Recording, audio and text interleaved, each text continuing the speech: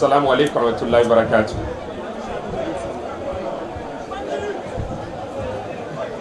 Mouvement du 5 juin, rassemblement des forces patriotiques M5 RFP.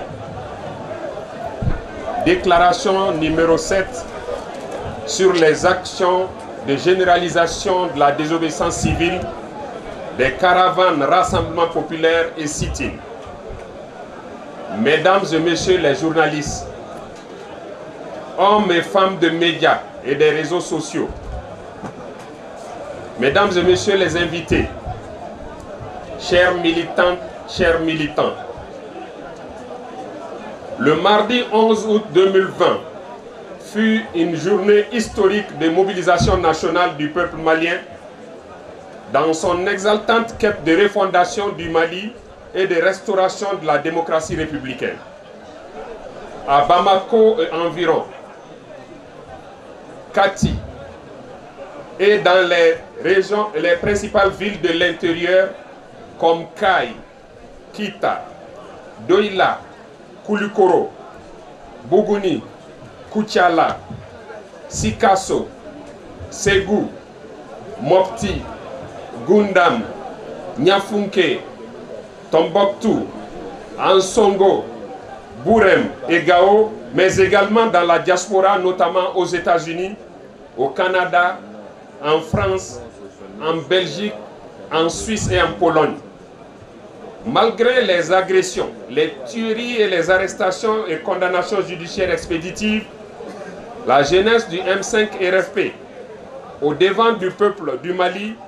a fait montre d'une opiniâtreté et d'une ténacité à toute épreuve, en enclenchant avec vivacité les actions de désobéissance civile d'après-trêve et en décidant d'observer une veillée nocturne sur la place de l'indépendance jusque dans la matinée du mercredi 12 août, où une répression policière aveugle et sans sommation s'est abattue sur de pacifiques manifestants. C'est le cas des blessures causées au jeune Kader Traoré de M5 RFP France en séjour à Bamako au sortir d'une émission de télévision qui a fait l'objet d'une agression violente en bande organisée doublée d'une tentative de meurtre dans la nuit du samedi 15 août dernier. Nous disons au régime d'Ibeka et ses turiféraires que la violation et la terreur, la violence et la terreur n'arrêteront pas le peuple malien. Le M5 RFP condamne avec la dernière rigueur ces 20 tentatives de bâillonnement des citoyens par la répression et la brutalité policière contre les manifestants, les commerçants au marché et les agressions et enlèvements de plus en plus fréquents et systématiques contre tous ceux qui exercent leur liberté constitutionnelle d'expression, d'opinion et de manifestation. Aussi, nous saluons l'abnégation des médecins volontairement mobilisés aux côtés des blessés et des avocats bénévolement constitués pour assurer la défense des victimes du régime et œuvrer à la protection des libertés individuelles et collectives, mais aussi à la préservation des droits humains et de la démocratie. Le M5 RFP exige la mise en liberté sans condition des détenus et prisonniers politiques, l'arrêt des harcèlements et des violations des droits syndicaux des fonctionnaires de la police et des prisons, et réitère sa demande de libération de l'honorable Soumaïla Sissé, chef de file de l'opposition. C'est le lieu de rappeler que le M5 RFP mettra tout en œuvre pour faire aboutir les poursuites judiciaires contre les auteurs, commanditaires et complices des tueries et exactions commises contre les manifestants au menu par la force antiterroriste Forsat et autres agents de répression à Sikasso, Kai et Bamako. Nous nous félicitons du du renforcement des composantes de notre mouvement populaire à travers la forte implication et le soutien des corporations et syndicats des transporteurs, des boulangers, des fonctionnaires des départements des finances et du matériel DFM, d'agents de police, de surveillants de prison, d'enseignants, de travailleurs des mines, des cadres chrétiens de l'administration, de la communauté tamashek, noire et j'en passe. Le M5 RFP félicite les commerçants et les femmes commerçantes détaillantes pour la mobilisation constante des marchés de Bamako. De même, euh, pour faire taire toutes les supputations rumeurs sur la cohésion du mouvement, une saine clarification entre l'imam Mahmoud Diko, le shérif Bouye Haïdara et le comité stratégique du M5 RFP a pu s'opérer lors d'une visite fructueuse à Nyoro du Sahel, mettant tous en accord sur le constat commun que le responsable de la détérioration et de la persistance de la crise malienne a un nom, M. Ibrahim Bouakar Keïta, dont l'incapacité à diriger le Mali a été réaffirmée. Par ailleurs, le M5 RFP prend acte des faits graves énoncés au fil de la presse internationale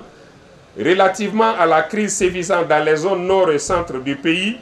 contenus dans un rapport en cours d'examen devant le Conseil de sécurité de l'ONU et qui tendent à confirmer que la gouvernance du régime IBK est à la base de la déstabilisation du Mali en tant qu'État, nation et démocratie républicaine. Aussi, malgré tant d'errements et de torts causés au peuple malien par le régime IBK, le M5 RFP regrette que la CDAO, à travers la médiation conduite par l'ancien président nigérian Goodluck Jonathan, continue de croire dans les vertus d'un dialogue constructif avec M. Ibrahim Bouakar Keïta et réitère ses exigences. Des excuses pour les propos inacceptables et diffamatoires tenus par M. Ibrahim Bouakar Keïta lors du dernier sommet des chefs d'État de la CDAO contre le mouvement et son autorité morale, l'imam Mahmoud Diko, nous qualifiant d'islamistes voulant installer un État théocratique. La libération pure et définitive des mythes euh, purs, excusez-moi, la libération pure, simple et définitive des militants et citoyens pourchassés, arrêtés et condamnés à de lourdes peines de, de manière expéditive pour avoir exercé leurs droits et libertés constitutionnelles l'ouverture immédiate d'enquêtes et de procédures judiciaires indépendantes contre les commanditaires, auteurs et complices des tueries des 10, 11 et 12 juillet 2020 devant les juridictions nationales et internationales, la démission de M. Ibrahim Bouakar Keïta et de son régime, ainsi que la libération de l'honorable Soumaïla Sissé, chef de file de l'opposition, dont il dit être en discussion avec les ravisseurs pour son retour bientôt. Le M5 RFP rend hommage aux Maliennes et Maliennes de la diaspora pour leur engagement patriotique soutenu et leurs efforts inlassables dans l'organisation de manifestations,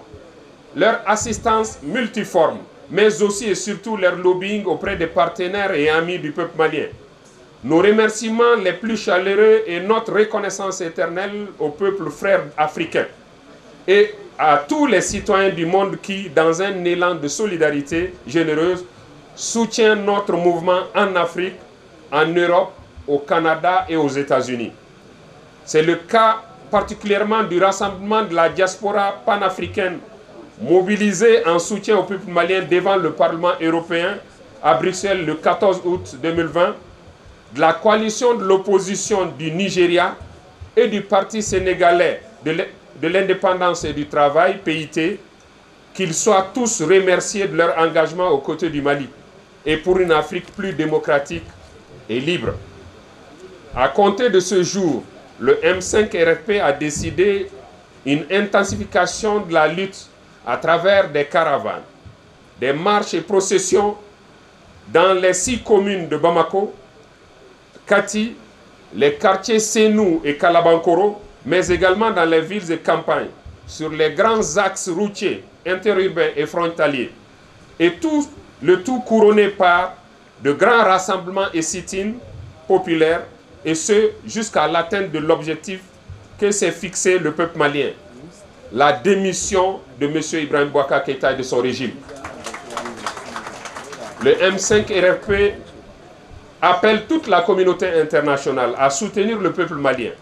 dans sa quête de paix et de réconciliation nationale,